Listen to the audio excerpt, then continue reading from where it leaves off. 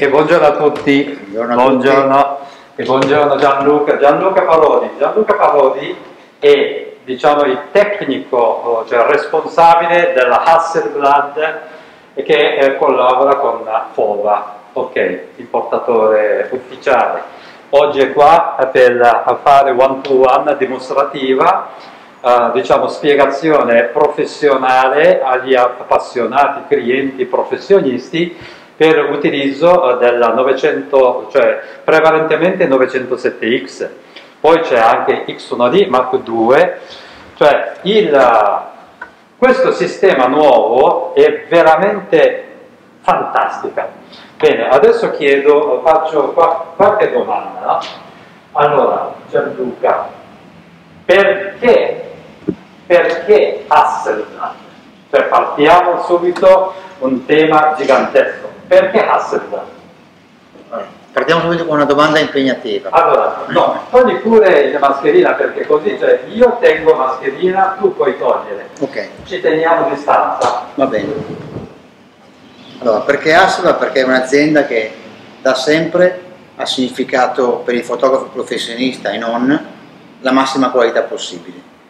E, e anche perché Hasselblad è un'azienda che comunque ti dà continuità nel tempo, cioè oggi siamo qua con un dorso digitale, appunto CFV con il corpo 907 e siamo diciamo, forse l'unica azienda che, può, eh, che rende diciamo così, eh, questo dorso compatibile con le macchine addirittura come abbiamo in questo caso la 500C eh, fatta più di 50 anni 50 fa. Anni fa. Quindi da sempre Hasselblad eh, vuole dare continuità ai propri fotografi.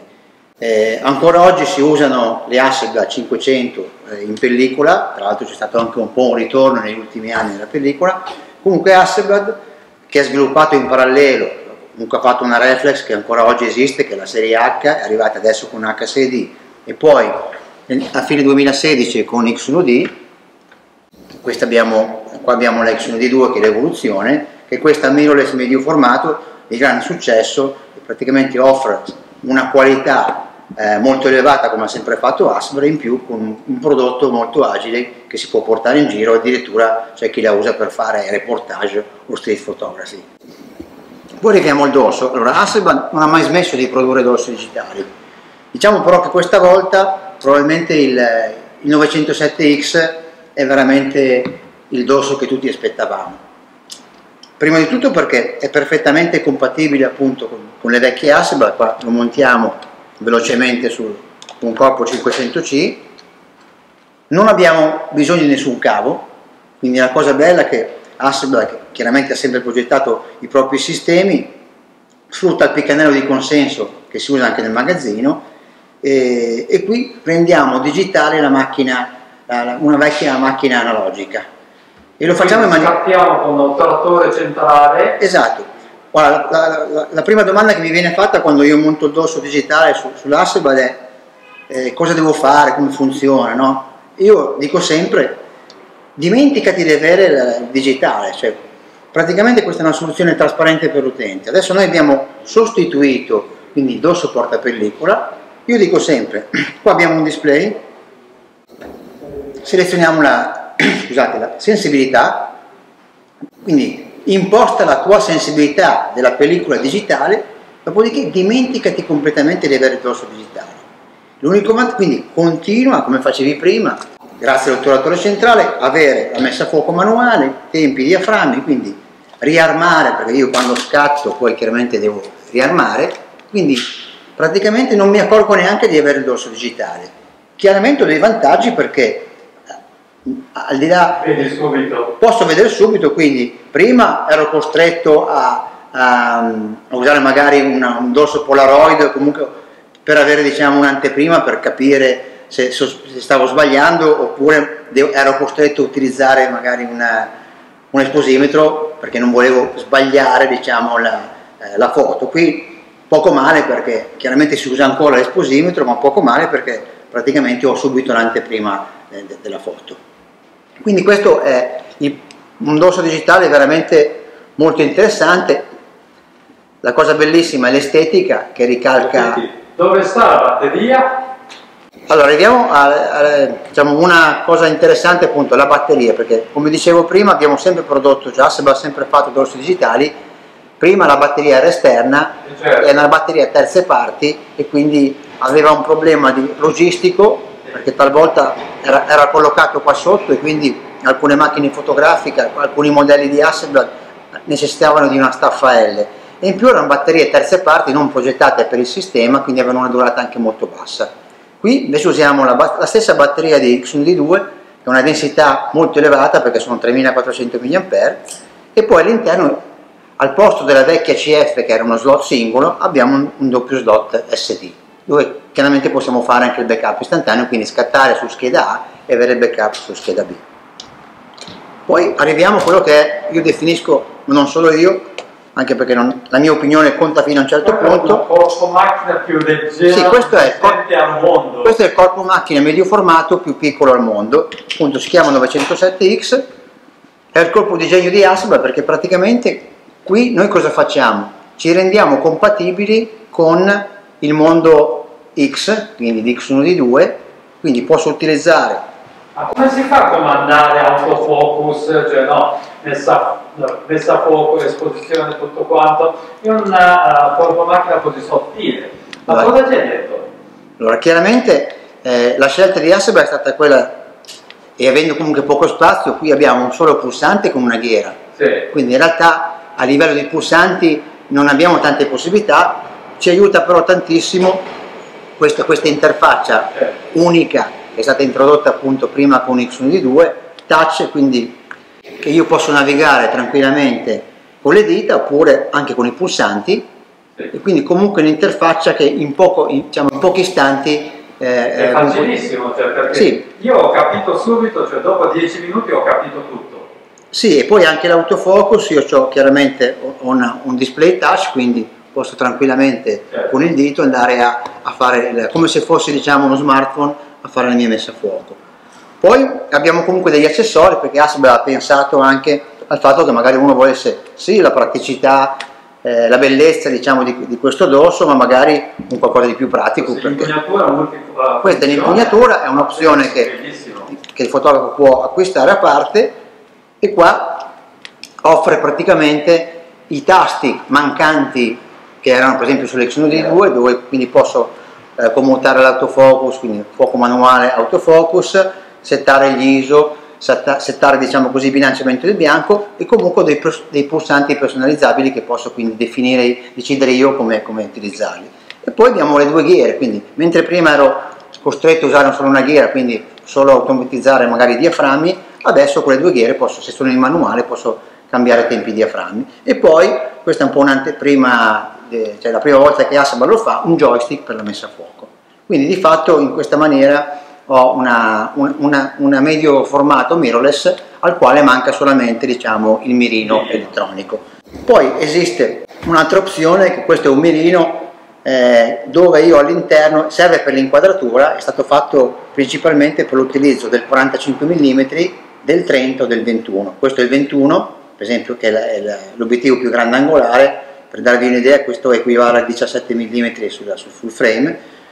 Il 30 qui oggi non ce l'ho, ma poi abbiamo il 45, che tra l'altro è un prodotto interessantissimo perché è un eh, super, super compatto come obiettivo, come, eh, credo che sia... economico anche. Sì, qua Hasselblad ha fatto un miracolo in tutti i sensi. Intanto è il- è il più compatto e leggero, obiettivo medio formato e non dimentichiamoci che noi comunque abbiamo sempre, Hasselblad mantiene la tradizione dell'otturatore centrale, cosa che i nostri concorrenti non hanno. E in più è anche super compatto nel prezzo perché il prezzo è poco superiore ai 1000 euro più IVA. L'unico problema è che arrivano pochi esemplari. Questo Sì. è un altro discorso. Sì, purtroppo- è, è un tasto dolente, giusto? Qui purtroppo sì, eh, Sicuramente perché venderanno una marea, no? hanno avuto un, un successo inaspettato, anzi si, si aspettava ma non così tanto chiaramente. Certo.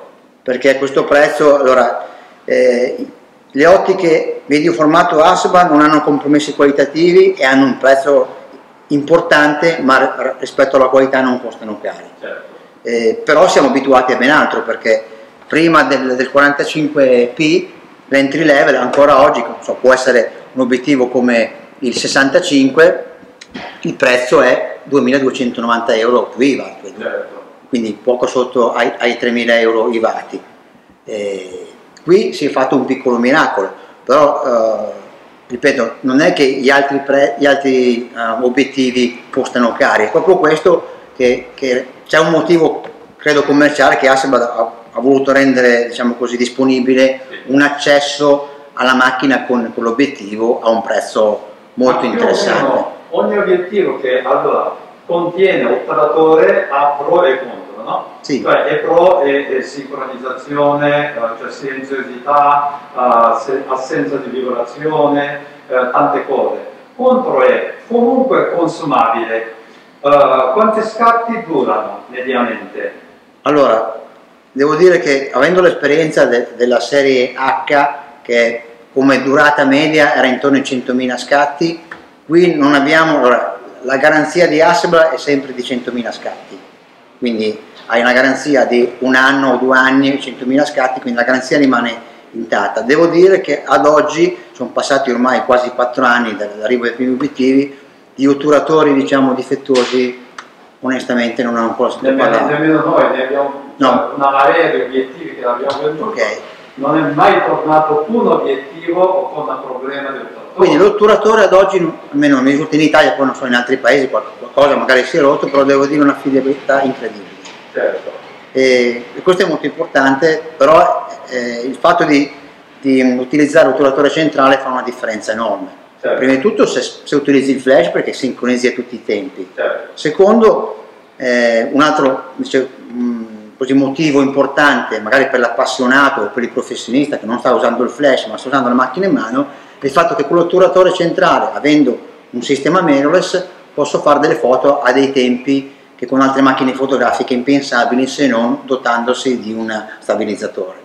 certo. Più volte così ho fatto provare le fotocamere a dei fotografi e, ho con me delle foto a un quindicesimo, un trentesimo dove non c'è nessun tipo di, di- di vibrazione minima. certo. E questo è appunto uno dei grossi vantaggi dell'otturatore centrale. certo. Parlando di obiettivi, eh, dicevo prima, inizialmente appunto la- eh, Hasselblad rende compatibile tutti i prodotti e non ha mai smesso di farlo anche verso per esempio la reflex, non dimentichiamoci che Hasselblad chiaramente adesso siamo focalizzati su questo prodotto perché è più accessibile, è il prodotto diciamo più moderno, ma abbiamo ancora HSID che è la reflex diciamo, di riferimento, chiaramente parliamo di un prodotto di fascia molto alta, disponibile da 100 o addirittura 400 unipixel eh, multishot, però continua a essere utilizzata dai, dai dai grandi fotografi professionisti. Ma tutti gli obiettivi serie H sono compatibili e di tutto o Sì. ci sono serie che non No, allora, sono tutti compatibili, Sì. tra l'altro abbiamo due adattatori, un adattatore semplice e uno che questo qui è una novità, l'adattatore con un'ottica dentro, si chiama 0,8 per, Sì, cioè, pazzesco. E praticamente- Cioè, questa è un'idea cioè, impressionante. L'idea qual è? Intanto con l'adattatore semplice, che è ancora in produzione, perché chi non volesse diciamo, questa, questa lente, adesso vi spiego il perché, eh, ci rende compatibili con tutte le ottiche della serie H. ok? Eh, a livello di, di compatibilità l'ottica si comporta come se fosse un'ottica nativa, tranne l'autofocus, a meno che non si tratti di una serie H dell'ultima generazione, che sono le ottiche prodotte negli Ma come ultimi si fa a riconoscere quelle compatibili o non compatibili? Faccio vedere perché ne ho qua una, Sì. praticamente le ottiche H dell'ultima serie, che quindi, una- che quindi sono, diventano autofocus anche con anche appunto utilizzandole con l'adattatore, si riconoscono perché hanno questo, questo quadratino arancio. E Esatto. questo è l'otturatore nuovo che è compatibile, quindi ha un- dentro un processore più moderno che è compatibile in autofocus anche su X1D2, X1D e su 907X.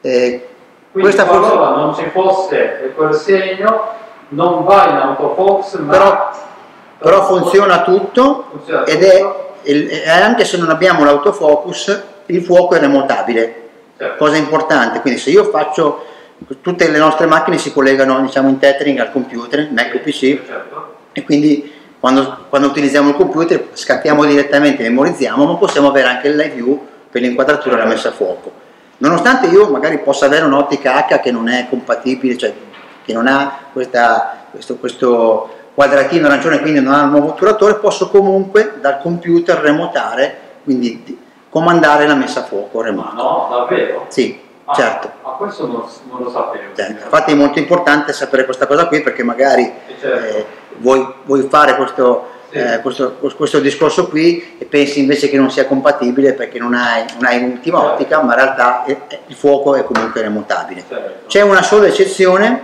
al momento, ma magari dopo questa cosa qui verrà cambiata, che è il 120 macro. Ah, 120 certo. macro, anche l'ultima serie non è compatibile Come in- autofuoco. con autofocus. Il fuoco remoto rimane sempre. Ok. Quindi dicevo, invece il, il nuovo adattatore, questo è uscito da, po- da- da pochissimo tempo, 0,8 per, in realtà accorcia le ottiche. Questo perché? Perché la nostra H600 non ha un sensore comunque medio formato già come questo, ma ben più grande. Parliamo di 40x54, per darvi un'idea poco più piccolo della pellicola 6,4,5. Quindi cosa succede? Mettiamo il caso che un fotografo abbia già una serie H, H600 con un obiettivo un po' grandangolare che può essere un 24, un 28, un 35 e a questo punto compra X1D2 o 907X per affiancare, per avere diciamo come macchina per utilizzare le stesse ottiche. Voi capite che se io monto, se ho un grandangolare di solito perché ho bisogno di una certa... Angolo di campo, certo. angolo di campo e quindi con l'adattatore semplice un 24 mi diventerebbe un 28, 30 e quindi perderei quella- quella- quella- Quello scopo che è il grandangolare che magari mi sono comprato proprio perché voglio magari il 24 che è quello più E spinto. non solo, poi cambia anche luminosità. Sì, certo, certo. E quindi l'ottica mi riporta, perché è un 0,8 per, quindi mi, mi recupera quel 20% e mi rende anche l'ottica un pochettino più luminosa. Sì, cioè Quindi- questa è una cosa cioè, pazzesca, no? Sì. Cioè, e diventa ancora più luminosa. Sì. Cioè, questo è pur mantenendo tutte le caratteristiche, Certo. cioè, questa è una ritrovata molto interessante, molto interessante. Poi ci sono anche altri adattatori, magari non fatta da Hasselblad, che Sì. Tanti giocano con montando anche le ottiche di altre Certo, case. allora Hasselblad produce, quindi abbiamo detto, due adattatori per la serie H, Certo. ne ha uno comunque per la serie V, Sì. perché io qua e anche sul corpo 907 potrei montare l'ottica eh, V, in questo caso Certo. l'ottica C. Eh, attenzione però che in- in- quando uso degli adattatori non elettronici, quindi terze parti, eh, appunto che ci sono eh, prodotti da Hasselblad solamente per la serie V, H e X-Pan, dobbiamo usare l'otturatore elettronico. Se vo- volendo, eh, appunto, le terze parti fanno adattatori che mi risulta per Leica, per Canon, per Nikon. Al momento sono tutti, diciamo così, eh, manuali, Mamiya, Mamiya. sì. Certo. e quindi eh, l'unica cosa devo usare l'otturatore elettronico, quindi ho dei limiti, per esempio non posso usare il flash. Eh, certo. Però appunto abbiamo una compatibilità con, con più sistemi Eh, ottici. cioè, cioè, bellissimo, no? Cioè, con il 907 andare con l'ottica Leica M che è piccinino e che hanno una copertura anche Certo. molto interessante, no? Cioè andare in giro cioè, come, come se fosse una macchina cioè, compatta. Sì, più un'altra cosa che non abbiamo detto di- del dorso CFV, che noi adesso parliamo sempre chiaramente di Hasselblad, ma in realtà il dorso digitale si può attaccare a qualsiasi technical camera, Ah, quindi certo. una Sinar piuttosto che una, una Cambo, una Alpa, una Silvestri. cioè, quello che Eh, esatto. Sì. Tra l'altro è un, è un qualche cosa che si, si utilizzava, se un po' meno, il professionista ha sempre, anzi, quando ho iniziato io a fare questo mestiere circa vent'anni fa, i primi dorsi digitali si andavano ad adattare sia sulle vecchie Asba o magari Mamiya RZ piuttosto che Contax, macchine così, ma soprattutto su banchi ottici. Eh, certo, E questo è ancora oggi possibile. certo. Allora, cioè, l'ultima domanda scomoda. Allora, macchina fotografica medio formato, Sì. ci sono anche altre case, no? Cioè, Sì. non so, Phase One, o cioè, Fuji, o Pentax, o cioè, no, altre case. Ma perché dobbiamo scegliere Hasselblad? Dimmi. Allora, come dicevo prima, allora, se il professionista punta di solito alla massima qualità possibile.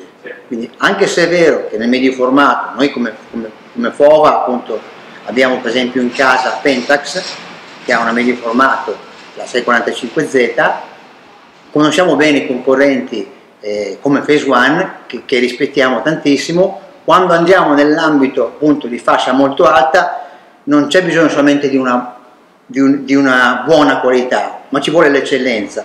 Per esempio nel colore, noi come Assemble abbiamo un'esperienza e diciamo una grossa fetta di clientela per chi fa riproduzioni di altissimo livello. Lì non è più un discorso di avere un, un incarnato piacevole o di un colore abbastanza preciso, qua parliamo di situazioni in cui deve essere il più preciso possibile. Certo. Hasselblad ha sviluppato un sistema, al di là del, dell'elettronica, ma soprattutto con Focus, un sistema che lo rende sicuramente il migliore in assoluto. E, e quindi questo è importante perché per certi tipi di lavori eh, di riproduzione avere un file di partenza che si avvicina moltissimo all'originale all vuol dire veramente tanto, tanto tempo risparmiato. Comunque c'è il profumo di Kodachrome. Eh? Profumo di Kodachrome. Poi sicuramente... Hasselblad ha un profilo colore che secondo me è caldo. Sì, diciamo che è mo molto piacevole, poi si ha comunque un file eh, molto bello, molto inciso, sì. però una delle caratteristiche per esempio quando andiamo a alzare la sensibilità, cosa che possiamo fare non solo perché abbiamo necessità di, di diciamo, ci manca la luce, si crea un qualche cosa mh, 800, 1600, 3200 ISO dove si perde la, la, classica secchezza del file ma si arriva un po' uh, a una, una grana, a una grana che, e, e, la rende la, la scelta per quanto riguarda i molti fotografi che utilizzano volutamente utilizzano alzando sensibilità per ottenere quella grana no? Sì, sì, e poi parlando appunto di, di, casi specifici appunto se io voglio fare un ritratto appunto con il dorso digitale qui ritorno a fare il ritratto con, con, col pozzetto ma lo posso fare anche con 907X ah, certo. tu sai benissimo che una delle cose belle del, dei ritrattisti con Hasselblad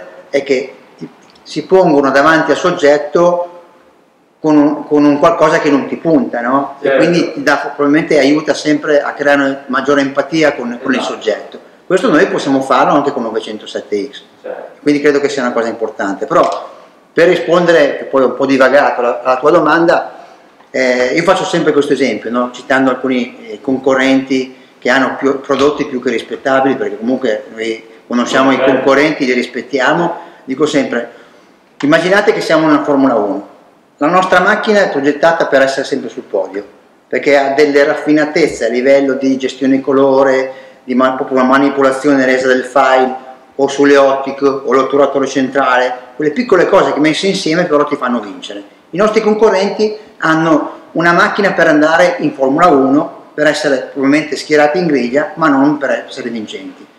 Poi, chiaramente, se non hai bisogno di vincere, e scatta un altro elemento che, che di solito eh, ti fa andare verso Hasselblad.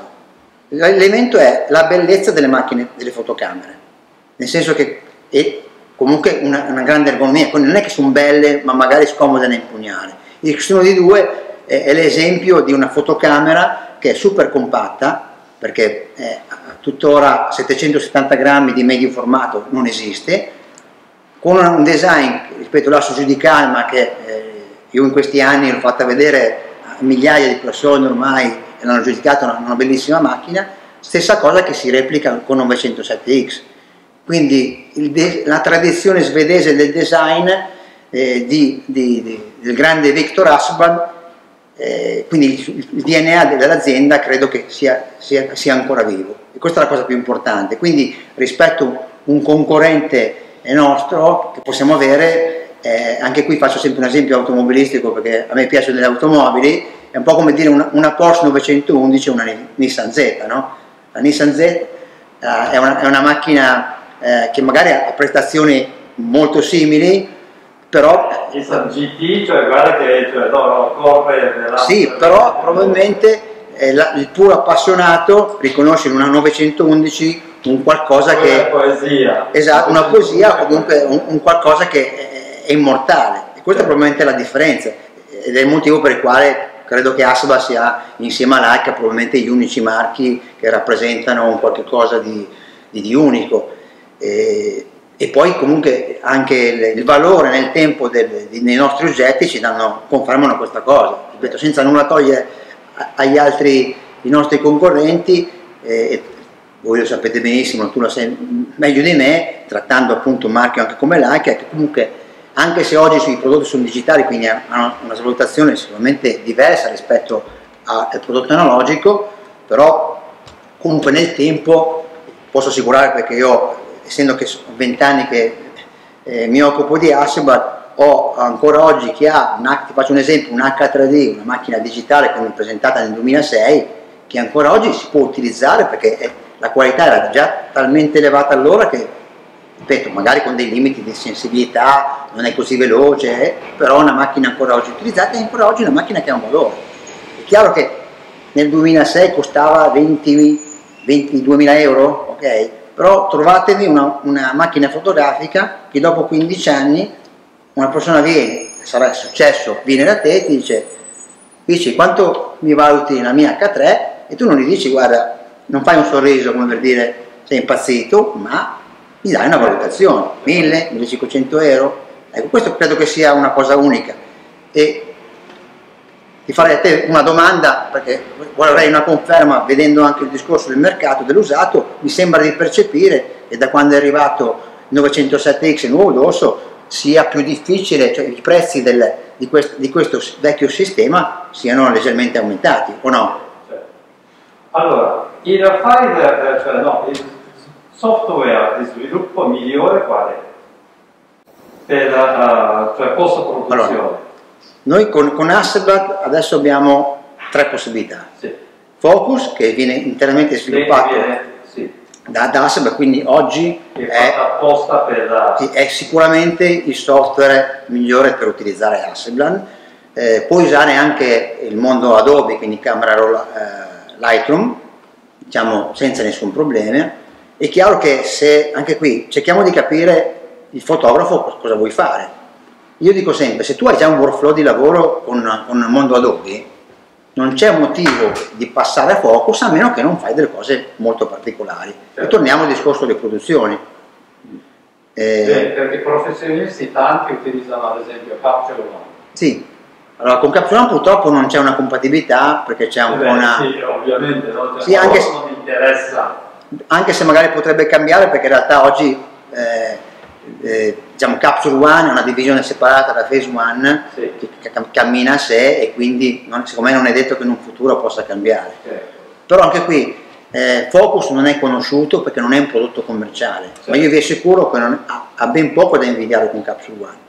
Però la differenza è che Focus è sviluppato e serve unicamente se abbiamo queste fotocamere, certo. mentre Capsule Man è un prodotto che è nato per gestire i dorsi e le macchine eh, diciamo di Phase One, ma poi si è, reso, si è reso un prodotto commerciale al pari di Lightroom, quindi sono, diciamo, sono due i software venduti dalle aziende e comprati dai fotografi e sono talmente validi che sono superiori ai software che produce e vende eh, o dà in dotazione Canon, Nikon per fare un esempio Sony, no? quindi ormai diciamo, è un po' uno standard. Però Focus non ha nulla da invidiare, è un software gratuito, eh, però non ha la, come mira di essere venduto perché non, sì, probabilmente puoi anche gestire file di altre fotocamere, ma non, non, è, non lo consiglierei. Quindi noi al nostro eh, cliente diamo due strade più una nuova che adesso vi dico.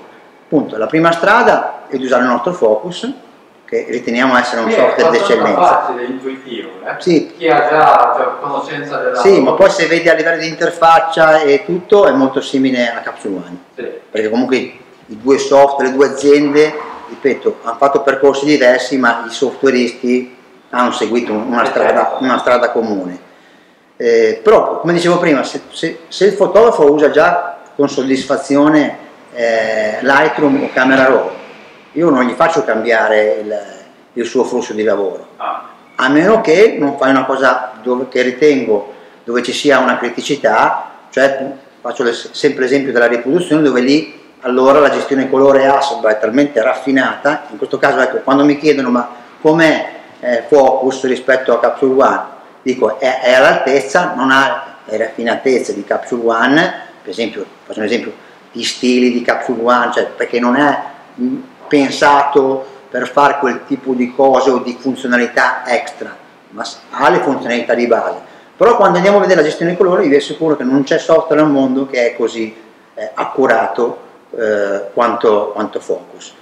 Quindi in quel caso eh, i nostri clienti che utilizzano eh, le nostre fotocamere dove hanno bisogno veramente della massima precisione eh, sulla cromia, eh, io consiglio vivamente Focus e di solito fanno così. Tu hai detto poi terza... La terza strada è Focus Mobile 2. Praticamente allora, da sempre con le nostre fotocamere, cioè almeno dall'arrivo della prima X1D abbiamo la possibilità tramite iPad di controllare la fotocamera sì. e di visualizzare le anteprime. Certo. Quindi classici scenari, io fotografo posso gestire il remoto, il fuoco, comunque la, la fotocamera, oppure posso dare l'iPad o l'iPhone, eh, cioè dare l'applicazione al mio cliente che così invece che stare vicino a me dietro il mio display eh, guarda le foto, le anteprime che riceve diciamo, in wireless, in wifi eh, se, e quindi puoi giudicarle o può addirittura